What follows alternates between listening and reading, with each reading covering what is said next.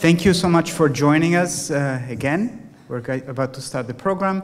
My name is Francesco Spagnolo. I'm the curator of the Magnes. It's uh, wonderful to welcome you all to the last uh, uh, appointment in our series this year devoted to Arthur Szyk. Uh, many of you, uh, I'm sure, already know the Magnes received in 2017 a, an unprecedented gift to purchase the Arthur Szyk collection, and we are very hard at work in uh, cataloging, making it accessible. You see some highlights on the walls of this of this hall.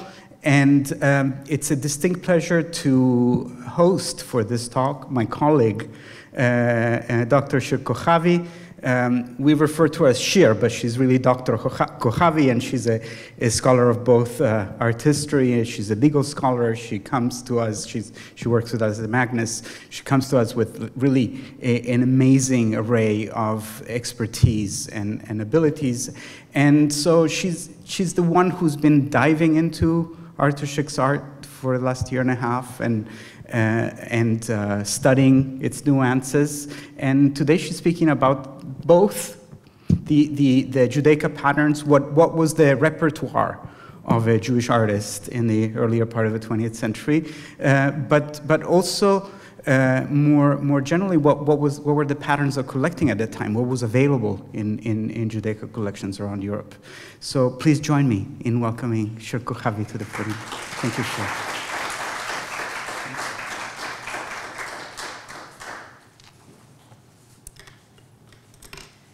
Thank you, Francesco. Thank you all for joining us. So this is going to be the fourth and the last talk of this series around Arthur Szyk. Uh, this talk will focus on a few of Szyk's aesthetic ins sorry, inspirations. It will be also divided into three parts. We'll begin with a short biography of Szyk's early career years, followed by an exploration of some of his inspirations. In this portion, several, several European collections of Judaica and ancient Jewish manuscripts will be mentioned, all of which were cataloged and published or put on display for visitors during the 1920s and 1930s in Europe. This talk will end with some final thoughts about Arthur Szyk and the artists of the Bezalel School of Jerusalem. I'll focus primarily on works by the artists of Ephraim Moses Lilien and Zev Raban, both Polish natives who taught art at the Bezalel School in its early years in 1910s and 1920s. So let's begin. Arthur Szyk was born in June of 1894 in Łódź, Poland. His family supported his ambition to become an artist, and at the age of 16, he left to study in Paris at the famous Académie Julian where artists such as Fernand Léger, Henri Matisse, and Jacques Lipchitz also, scholar, also studied. He returned to Poland in 1913, and the following, the following year joined a group of young scholars traveling to Palestine. The outbreak of World War I in the summer of 1914 cut his visit short, and upon his return to Poland, he was drafted to the army. Several years later, in 1921, as a married man and a father to a son, George, he decided to move back to Paris with his, with his family. The following year, their daughter was born, Alexandra. They lived in Paris until 1933, and during these 12 years, Szyk was able to develop a successful career by forming connections with local personalities and collectors who were often immigrants just like himself. While living in Paris, Szyk became close with an antiques dealer, Auguste Decour, who took upon himself to organize Szyk's first local exhibitions. Decour's clientele ranged from members of high society in Paris to wealthy foreigners who shared an admiration to medieval and Renaissance styles, and Szyk, whose works were inspired by medieval manuscripts, as you will see in, in a moment, was supported financially by patrons such as Anatole de Monzie, a French politician who later even sent Szyk to a visit in Morocco, and Baron Henri de Rothschild. In this example, you see um, to your left an example from the Statute of Kalisz, a 12, uh, 1264 Charter of Jewish Liberties issued by Duke Boleslaus the Pious and was later sanctif sanctified by three Polish kings uh, Casimir III in 1334, Casimir IV in 1453, and Sigismund I in 1539, if you wanted to know. Szyk illustrated this work between 1926 and 27 as a reaction to Marshal Józef Pilsudski's 90, uh, 1926 coup d'etat in Poland, expressing a hope the Jews will be granted equal rights in the re-established Polish state. Next to this page, to your right, you'll see a page from the album L'Ornement Hébraïque, written by Baron David Gunzburg and Vladimir Vasilevich Stasov, published in 1905. This book is based on 13th century Hebrew, Hebrew, Spanish biblical manuscripts from the Firkovich collection of the Imperial Public Library of St. Petersburg.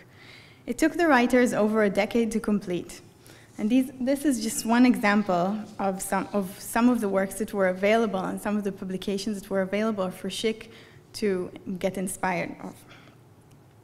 In this example, on your left is another page from L'Ornement Hébraïque, and next to it, unfortunately, I only had an example in black and white, how very appropriate for today, uh, two Esther scrolls from the collection of the Berlin writer Sally Kirsch, Kirschstein. Kirschstein was born in Poland in 1869 and grew up to become a successful businessman in Berlin. In 1890, he started collecting Jewish ritual objects and published numerous essays on, on Jewish objects. His collection was open to the public in a museum set up in his garage in his Berlin house until 1926. In 1926, he decided to donate it to the Hebrew Union College in Cincinnati, and today, these objects, along with many others, are part of the Skirball Museum collection in Los Angeles. In this last opulent example of manuscripts, uh, to your left, your far left, you see an example of the tripartite machzor, showing Ruth gleaning in the fields of Boaz. You'll notice that male figures have human heads, but the women are actually given the heads of various animals. Next to it is an Esther scroll from 18th century Salonika, found in our collection at the Magnes. And to your right, a 1946 border painting by Arthur Szyk. On the bottom of the border, Szyk depicted the lion wearing a crown and the deer holding together the Ten Commandments. This slide really brings us deeply into the second part of our presentation. This is another example of the depiction of lions holding the Ten Commandments, also found in, uh, in synagogues and on, uh, on Torah Ark uh, covers on the background of the portrait of Julius Schick on your left, and a menorah held by two lions on a bookplate created by Szyk for Le Livre d'Esther, the Book of Esther, in its 1925 25th edition. Szyk's works were not only aesthetically inspired by ancient manuscripts, they also incorporated several significant Jewish elements, as you can see here. A couple of these examples of the, and the qualities that were attached to these elements are something that I'd like to review with you. First of all, the lion. The lion symbolizes national redemption, a guardian of sacred treasures and places, and the sign of the tribe of Judah. A deer.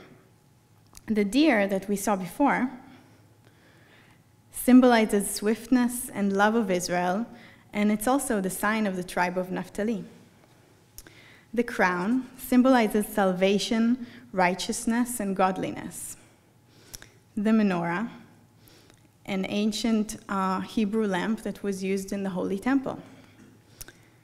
Later on, we'll, reach, we'll see two more examples.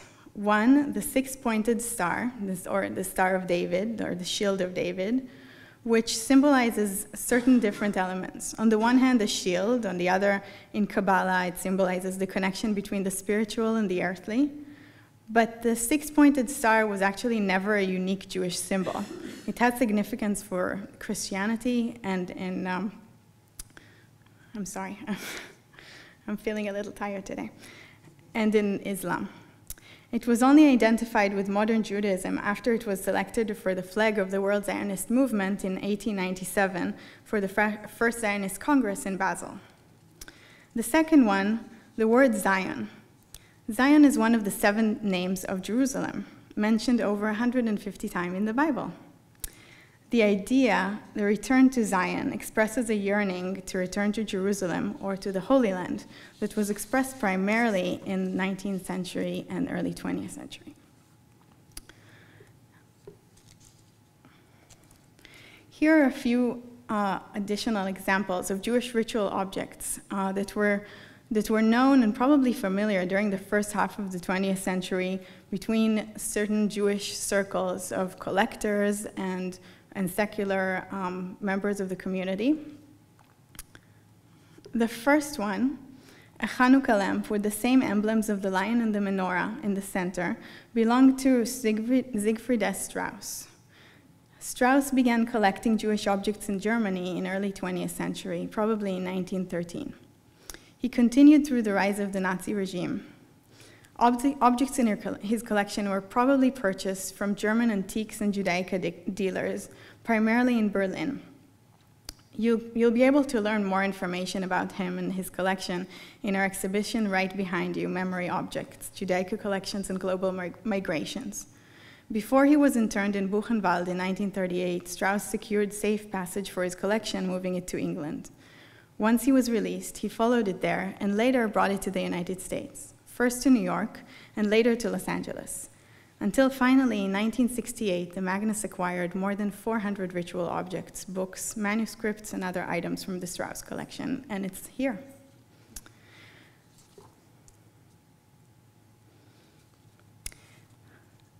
To your left here, you'll see a Hanukkah lamp that belonged to French 19th century Judaica collector Isaac Strauss. This is not the same Strauss family that I just talked about, interestingly. Strauss was, um, was a French composer and a gifted violinist. He displayed his extensive Judaica collection in France and in England, and eventually donated it to the Cluny Museum of the Middle Ages in Paris. In our collection, we have a drawing by Szyk, who sketched the medieval architecture of the Cluny Museum. Therefore, we believe that Szyk was probably exposed to the object in Strauss's collection at the museum at the time. To your right, another Hanukkah lamp created in Warsaw that is found today at the Jewish Museum in New York. This belonged to Benjamin Mintz, who was an antiques dealer in Warsaw in the beginning of the 20th century. He collected extraordinary Jewish ceremonial objects and paintings by Jewish artists. After giving up his business in the late 1930s, he and his wife received permission from the Polish government to escort the collection to the 1939 World Exhibit, uh, World Fair in New York, the same World Fair that Arthur Szyk exhibited several of his works in. The Zionist couple planned to sell it in the United States in order to eventually fund their immigration to Palestine. However, the collection was eventually never exhibited in the World Fair, though it did arrive to New York with the couple. The art market was low at the time, and the couple who accompanied the collection were unable to sell it there. They remained in the United States and never made Aliyah to Israel as they planned. In 1947, uh, the husband, Benjamin, passed away, and his wife eventually sold the collection to the Jewish Theological Seminary in New York.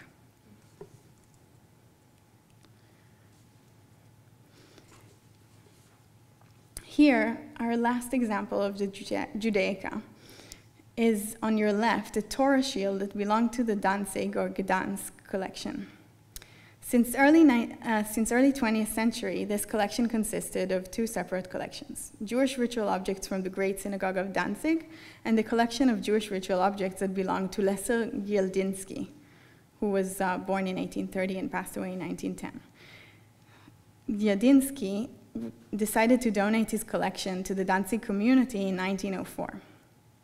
He was a Jewish grain merchant and an amateur art collector who collected not only Jewish ritual objects, but also fine art, ceramics, jewelry, books, maps, etc. His collection was open for visitors for numerous years in his Danzig house. After his death in 1910, over 1,200 items were, sent, were put on, on auction in Berlin from his collection. The only portion of his collection that survived until this day is actually, actually the Judaica that was donated to the Danzig synagogue. In the spring of 1939, the elders of the, of the Danzig community, assisted by the Joint Distribution Committee, collected all the communal possession and shipped it to the Jewish Theological Seminary.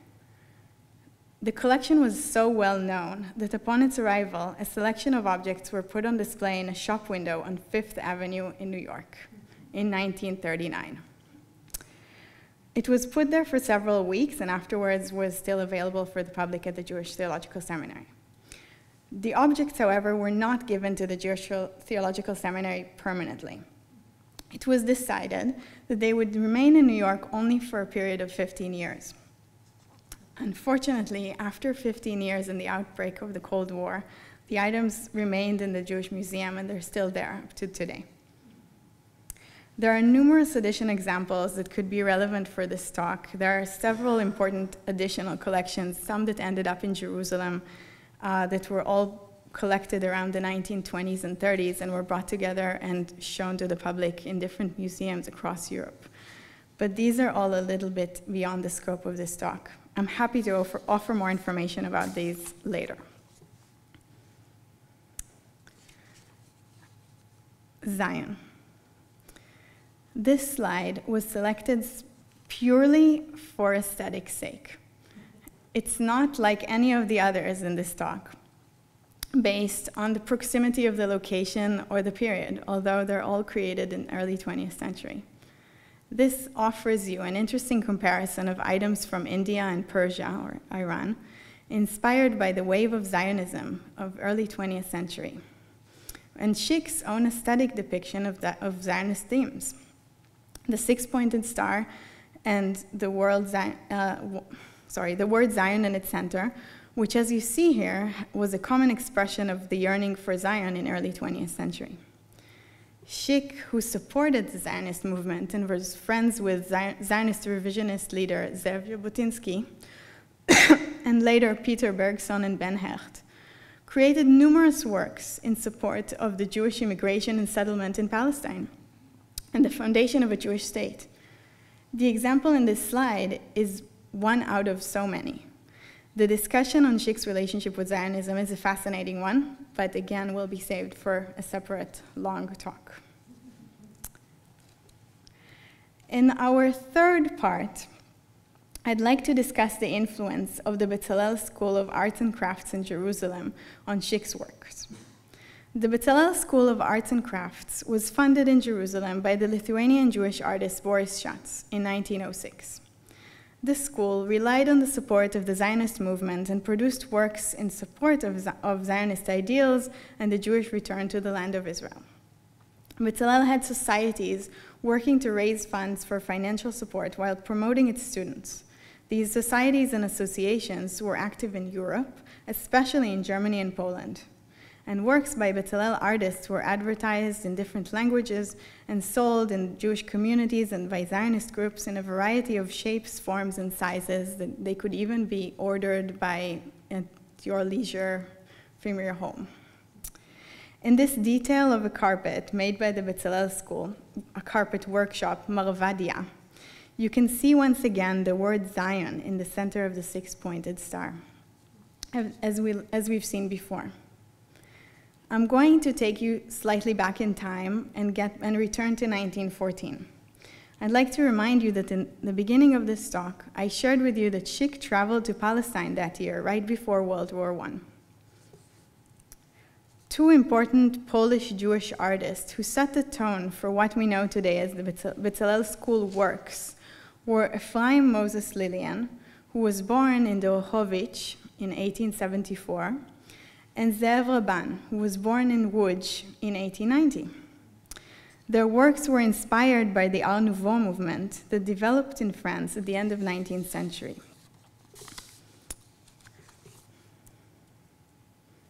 Oh, sorry.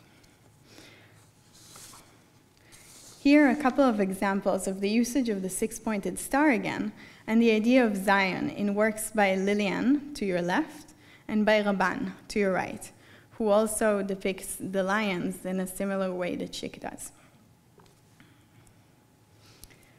In this comparison, I chose to bring an example of Szyk's, work, Szyk's early works and Lilien's diasporic Jew, who's watching Jerusalem glow from a distance, while Szyk's, while Szyk's Moses is standing tall and firm.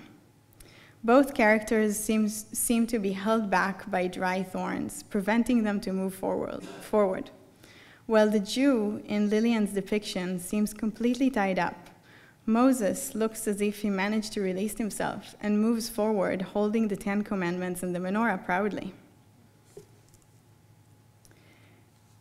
In these couple of examples, we return to the lion that Szyk depicts in many, many of his works side by side with a similar study by Zev Raban.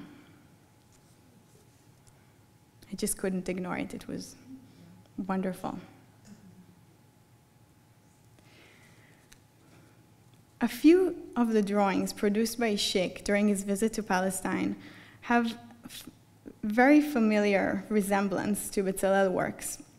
For example, here on your on your right, you see a piece that was painted on an undated postcard by Szyk. It says Haifa, if you can identify it, and the year 191, and you can add, it was, and you can add the additional, the additional number of the year, but you actually don't have it filled in there. And next to it is a business card for uh, promoting the shop that was uh, made for Bezalel artworks in Jerusalem. Finally, I'm going to end as we approach Purim um, with an example of playing cards, of playful playing cards by Szyk to your left and by Raban to your right. You see that both Szyk and Raban used Esther as one of their queens. While Raban's, were, cards were actually created during his lifetime, as far as we know, Szyk's cards were only produced later on. I hope this presentation was able to offer some insight on Szyk's decorative and conceptual inspirations and give you some context to his European surroundings, especially during the interwar period. The concepts discussed here today appear continuously in works created throughout Szyk's lifetime. Thank you very much.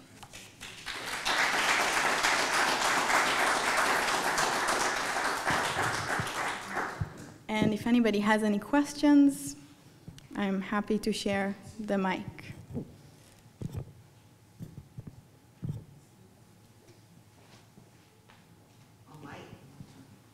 Um, so I'm quite interested in the use of the lions as opposed to the cherubim. Mm-hmm. Um, that is the, the lion, he seemed, Szyk seemed to like the symbol of the lions. Clearly, it's quite prominent, right, in his work. Absolutely. And, um, but I, I wondered at what point the lions replaced, if that's the right way to put it, mm-hmm. the idea of the two cherubim surrounding the ark or at the center of things. I mean, it seems like he used the lions, the crown, he sort of made a little thing there. Uh, yeah. Kind of, uh, I guess I just wondered how that worked for him. Absolutely. So I'll do my best to answer. Um, we do have over 400 works by Arthur Szyk in our collection, but there are still many around there, and I'm relying on these 400 works of 400 works um, and the research surrounding them to discuss this.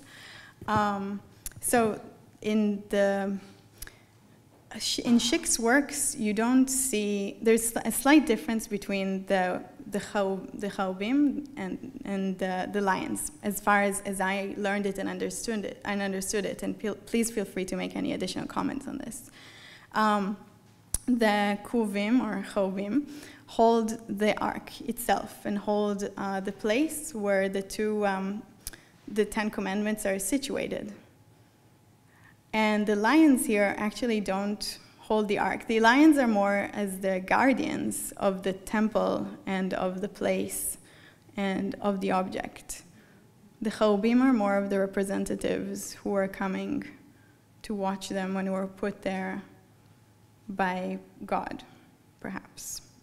Um, so in the, the temple itself, well, the, after the temple was, was uh, built and the, the, temporary build, um, the temporary ark was moved into the temple from the desert location where Moses put it, the cherubim and the ark were moved into it, but they were, but the concept of the lions, which is also an, um, a concept that was taken from paganism originally, along with the other, with several of the, of the other animals like the deer, um, was brought in slightly later on and was used only in the later period. Did it help at all? Yeah, I mean, So earlier cherubim, later lions, right. that- Szyk lions, other artists cherubim. Yeah, so I mean, this, this um, here, so like many people, I have one like that for my family with these two lions, and I've always just thought, well, okay, the lions were there, but. um, They, were, they came at a bit of a different, they came as more of a decorative ele- element It's a bit of a, diff, of a different time. Yeah, They don't appear in the Bible in the same Right. context as the cherubim.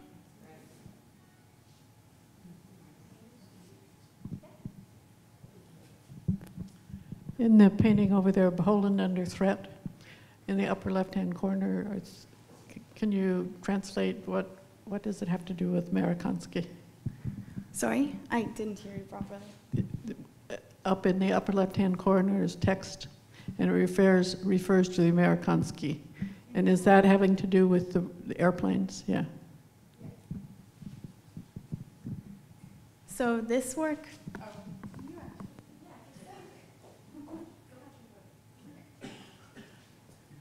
So this work was created as part of a series of works of the Brotherhood in Arms between Poland and, and America, and other, several other nations are mentioned in it.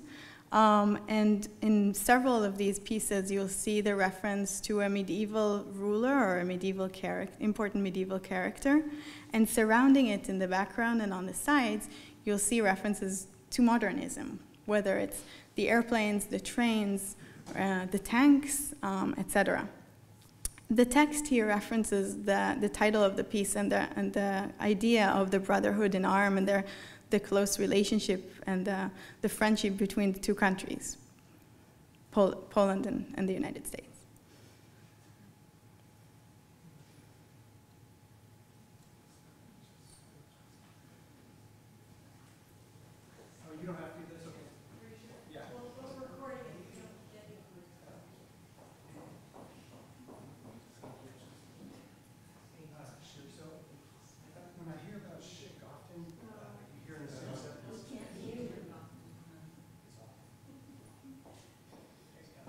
Hi, can you hear me? Mm-hmm. I wish my question were more important after all this.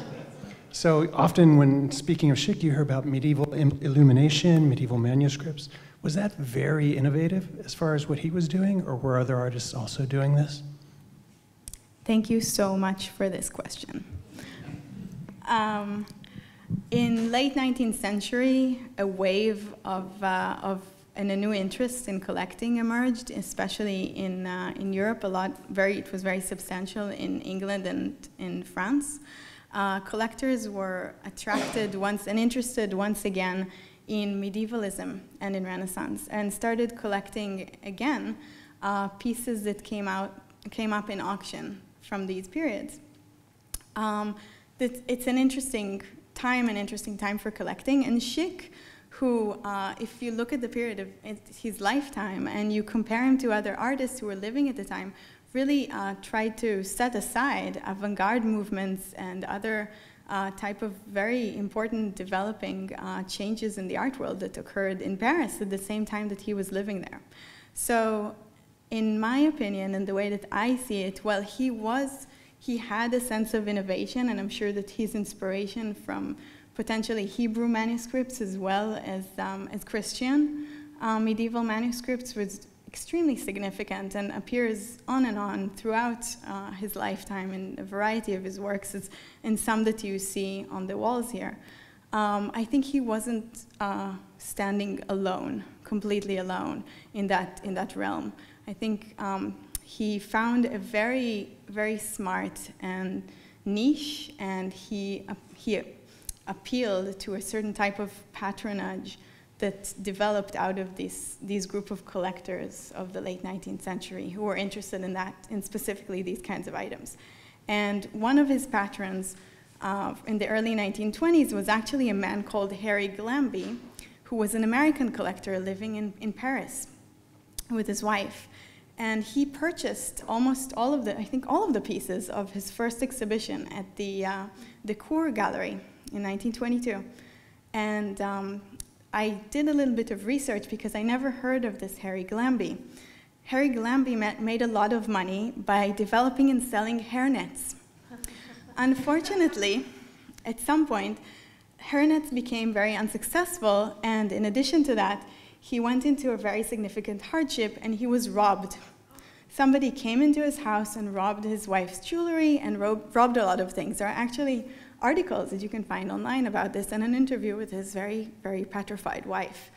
He ended up selling um, a lot of his collection, and luckily for us, the auction catalog from the um, early 1960s or the late 1950s, if I'm not mistaken, which is after Szyk passed away, um, actually has photographs of several rooms in his house of his collection and the type of, types of objects there.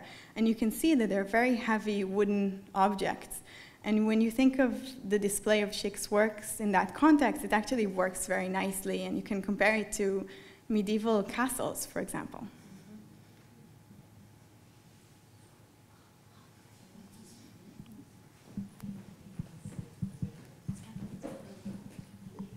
Thank you very much for your very informative talk. Um, I have a question. You had mentioned that, um, maybe I didn't catch it correctly, that, um, that items from the Danzig synagogue are still resident in the United States. Correct. I don't know what happened to the Jewish population in Danzig, but is there a synagogue there now? Is there any chance that they would want it back? Or, I mean, there's a lot of talk about giving artifacts back to people who own them. Mm-hmm. So maybe it works the other way also. I mean, mostly we're thinking about Jewish families who had, had, were pilfered by the, by the Nazis. And this, this may be maybe something that we should give back to Danzig. What, what are your thoughts on that? Thank you. My kind of question. Thank you. Um, the, it's very true. There are several Jewish communities today who have who are actually um, considered to be new communities that were established or re, or well, it's not exactly reestablished. They were established after the Holocaust. Um, some of them were reestablished only after the Cold War. And today they're asking for some of their ritual objects to be returned. Uh, there's actually a very important case against the Israel Museum uh, with a community in, um, in the Netherlands that for several years has been trying to get uh, Parochet back for their synagogue, and there are several additional cases such as this one. The Danzig community um, story is slightly different, and as far as I know, and from the little communication and the little work that I did um, in my past experience with the Jewish Museum, they did not request uh, to return the collections uh, despite the 15-year uh, limit.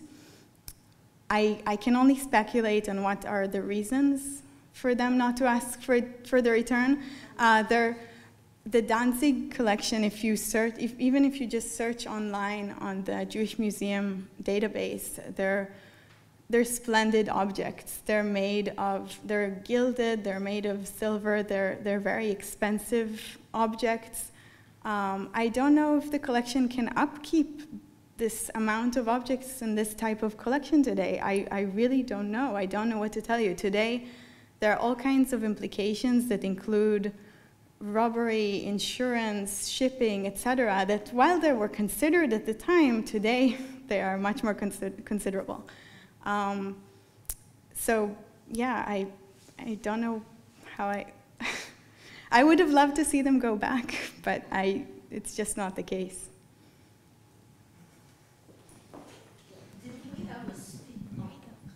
Didn't we have a speaker uh, from uh, well, a couple of weeks ago, mm -hmm. and he talked about the Danzig yeah. uh, collection, and yeah. they really kind of wanted it to stay. although some of that gold cup was stolen. Yes. I don't know if it was part of the Danzig uh, collection, It's, but, yeah, uh, yeah. absolutely. Yeah, and he was asking, where's that cup? And he was told it was stolen. So, Exactly. you know, people who owned it realize it, I think, that in order to preserve it, they have to have a safe place. Mm-hmm. A safer, maybe it's not a safe place if it's stolen, but a, maybe a little safer. So let me reply with a question. Allow me to reply with a question. Yes. Is it better for these, and you, nobody's expected to answer this, because I definitely can't. Are these ob- objects better off in a museum or in storage in a museum, or are they better off in a living community, community where they can be seen and celebrated perhaps during the high holidays? yes to which? Let, yeah, they could share them.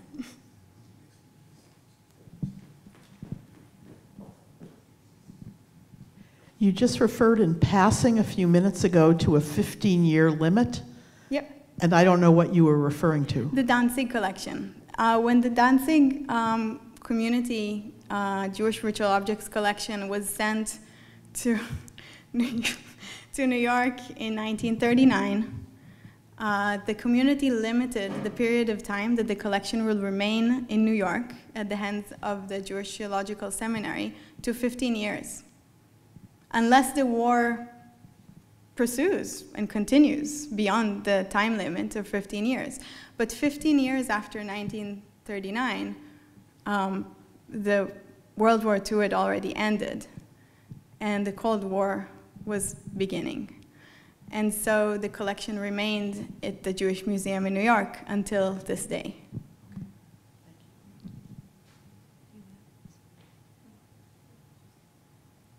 Okay. Thank you very much for coming.